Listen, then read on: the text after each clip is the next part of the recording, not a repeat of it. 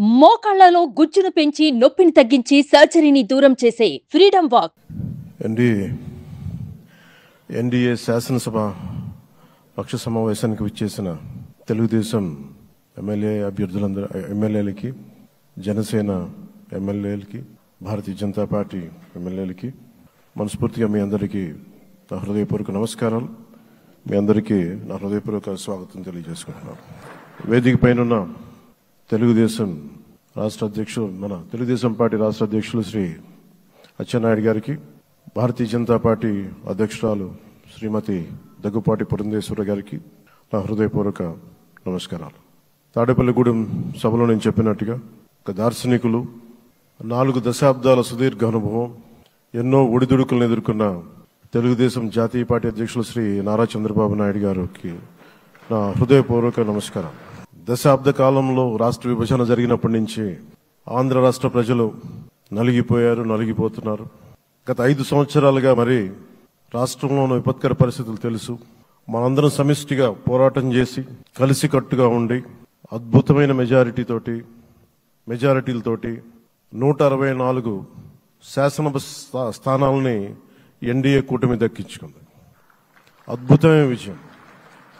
ఇరవై ఒక్క పార్లమెంట్ సభ్యుల్ని మన పా- సెంట్రల్ హాల్లో కూడా మాట్లాడుతూ ఉంటే అందరికీ ఆంధ్రప్రదేశ్ విజయం తెలుగుదేశం జనసేన భారతీయ జనతా పార్టీతో కూడిన ఎన్డీఏ కూటమి విజయం దేశం మొత్తం చాలా ఒక స్ఫూర్తినిచ్చింది. ప్రతి ఒక్కరి విజయాన్ని వారి వారి రాష్ట్రాల్లో ఎలా దీన్ని ముందుకు తీసుకెళ్ళాలి ఒక్క ఓటు చీలకుండా అలయన్స్ అంటే ఎలా ఉండాలి అనేది మన ఆంధ్ర ప్రాంత ప్రజలు మన ఆంధ్ర రాష్ట్ర ప్రజలు మనందరం కలిసి కట్టుగా చూపించు. రెండు వేల ఇరవై ఒకటి మార్చి పద్నాలుగున ఇప్పటం సభలో నేను ఒకటే తెలియజేసుకున్నాను. ఆ ప్రభుత్వ వ్యతిరేక ఓటుని చీలనివ్వను. ఆ మాట మీద ఉన్నాం ఆ మాట మీద నిలబడ్డాం ఒడిదుడుకులు ఎదుర్కొన్నాం తగ్గాం. కానీ నిలబడ్డాం ప్రజల నమ్మకాన్ని పెంచాం. అద్భుతమైన మెజారిటీతో ఈ రోజున మనం ప్రభుత్వాన్ని స్థాపిస్తున్నాం. చాలా మాటలు ఇచ్చాం. పొద్దున కూడా జనసేన లెజిస్లేటివ్ పార్టీ మీటింగ్లో నాయకుడిగా ఎన్నుకున్న సందర్భంలో మాట్లాడుతూ మనం చాలా మాటలు ఇచ్చాం. ఇది కక్ష సాధింపులకి సమయం కాదు ఇది.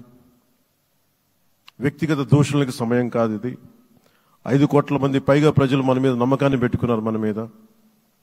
మనందరం ఉమ్మడిగా మనందరం సమిష్టిగా ఆంధ్రప్రదేశ్ ప్రజలు ఏ అభివృద్ధి అయితే కోరుకుంటున్నారో మనందరం సమిష్టిగా దీన్ని ముందుకు తీసుకెళ్ళాలి. అభివృద్ధి పదంలో నడిపించాలి.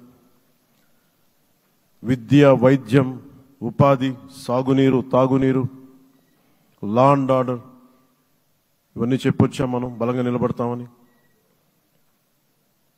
అలాగే మేనిఫెస్టోలో ఉమ్మడి మేనిఫెస్టోలో చాలా మాటలు ఇచ్చాం వాటన్నిటినీ బాధ్యతగా ముందుకు తీసుకెళ్ళాల్సిన అవసరం ఉంది. ఇలాంటి ఛాలెంజింగ్ టైమ్స్లో ఒక సుదీర్ఘమైన అనుభవం ఉన్న నాయకులు కావాలి. నాలుగు దశాబ్దాల అనుభవం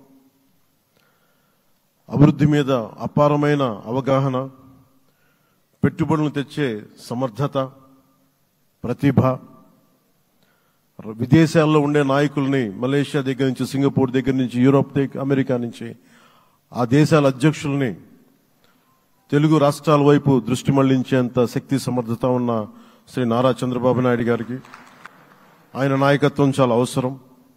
ఆయన అనుభవం చాలా అవసరం. అలాంటి అపారమైన అనుభవం ఉన్న వ్యక్తిని అనుభవం ఒకటే కాదు ధైర్యశాలి. ఈ రోజుకి నాకు ఒకటే గుర్తుంటుంది. కూడా సభలో చెప్పాను. చాలా క్లేమోర్ మైన్స్ పేలిపోతే జీప్ ఎగిరిపోయి కింద పడితే చొక్కా దులుపుకొని ఆయన మళ్ళీ వచ్చి రాజకీయం చేసిన వ్యక్తి. ఈ రోజున సైబరాబాద్ ఉంది అంటే అది శ్రీ చంద్రబాబు నాయుడు గారి దార్శనికత. అలాంటి వ్యక్తి ఆయన అనుభవం ఈ రోజున రెండు వేల ఇరవై నాలుగు ఆంధ్రప్రదేశ్కి ఎన్డీఏ కూటమి తరపు నుంచి ముఖ్యమంత్రి అభ్యర్థిగా శ్రీ నారా చంద్రబాబు నాయుడు గారి పేరుని జనసేన పార్టీ పక్షాన నుంచి మేము బలపరుస్తున్నాం.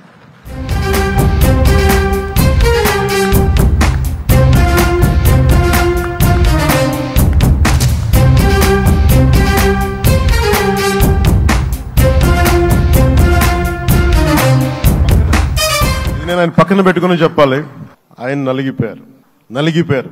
జైల్లో చూశాను ఆయన పాపం భువనేశ్వర్ గారి బాధను చూశాను. నేను అనుకున్నాను అమ్మ మీరు కన్నీళ్ళు పెట్టుకోండి. మంచి రోజులు వస్తాయని చెప్పిన మంచి రోజులు వచ్చినాయి. వారికి మనస్ఫూర్తిగా మనస్ఫూర్తిగా వారికి నా హృదయపూర్వక శుభాకాంక్షలు. మీరు అద్భుతమైన పాలన ఇవ్వాలి అందరికీ మనస్ఫూర్తిగా మీకు నేను తెలియజేసుకున్నాను సార్. సో